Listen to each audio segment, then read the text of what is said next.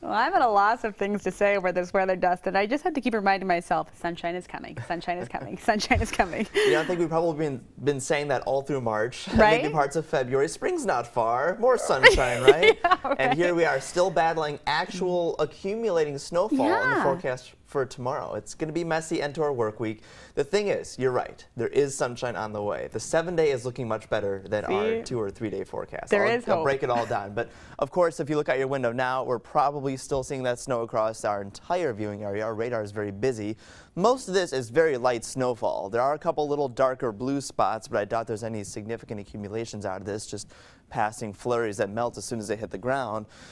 But uh, further north, it's a little drier. Give it a couple more hours, and the snow will pretty much be working its way south and east of our area. Temperatures are going to be on the cool side all through tomorrow. Cool side on the cold side, well below average. Normal highs for today should be in the low to mid 50s, and here we are still battling afternoon temperatures barely above freezing. 34 now in Lansing, and zooming out, this cold air is going to be continuing to filter into mid-Michigan. It'll be colder tomorrow, even colder Saturday, and that's why our forecast for tomorrow it's not that sleet or slushy rain and snow mix. This is all snow headed our way for tomorrow. Here's the system overhead moving away.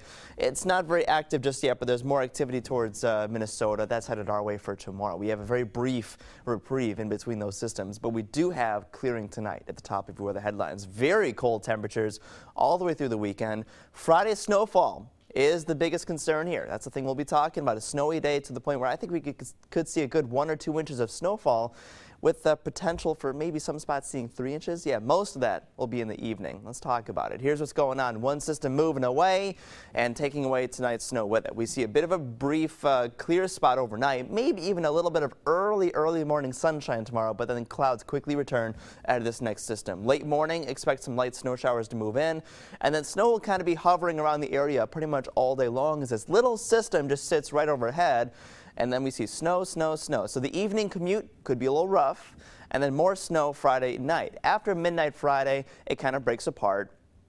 And then we see some drier conditions slowly but surely, maybe a few lingering flurries early Saturday, but then high pressure does give us some sun by the end of the day Saturday. And then, of course, there's a next system on the way for Sunday. Well, here's our total snowfall accumulations. We got this band of heavier snow across uh, most of central mid-Michigan, which could easily include Lansing, Mason, Charlotte. Heavier snow is a relative term here. It's just that this is heavy for April standards. And again, we could see maybe enough that you'll need to brush off your car. Hopefully, it should melt off pretty quickly by Saturday. Highs today were around 40 briefly for some folks, but then we get much colder in the next couple days. Here's the long run, warmer by Monday. That's good news. 25 year low tonight, snow ending, some clearing for us. Tomorrow's high around 38, a snowy day. Most of that will be after 2 p.m., but it'll be just kind of a snowy day for most of us. And then in the seven day forecast, gets better next week. There's your good news. Sunshine next week, a long stretch of dry weather. Monday, Tuesday, Wednesday, Thursday, or I should say Monday night through next week because Sunday night and Monday do have more rain on the way. It's very active next several days, but next week does look good. Rain is better than snow at this point of the year, so I think we'll take it. Yeah, still got to get through tonight and tomorrow's snow, though. We can do it. It's yeah. nothing. All right, Dustin.